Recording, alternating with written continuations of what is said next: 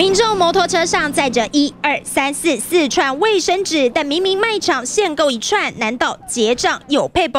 怎么可以买这么多串啊？男子不发一语，迅速离开现场，询问其他民众，才知道原来有这招。我同事来买，我有跟他讲啊，叫他自己拿拿卡这样绕啊绕啊。上有政策，下有对策，民众发想抢购妙招。量贩业者说，抢购潮这几天几乎全天高峰，业绩媲美中原档期，卫生纸光是一天就卖了四万串。但台湾确诊破百好几天，对比二十一号排队人潮，二十二号上午减少许多。业绩连台风天都及时都比不上了，每天从早到下班为止的密度非常高的，所以它整个业绩其实目前嘛还没有找到适合可以比较的节日。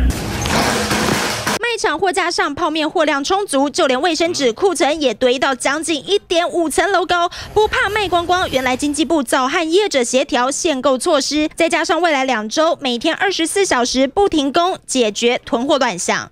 卫生纸的货也很多，所以不用担心。你觉得需要抢吗？不用。消保处也强调，已经请业者每天填报物资供需状况，目前一切充足，民众真的不用过度紧张。记者陈正茂、林恩如台北报道。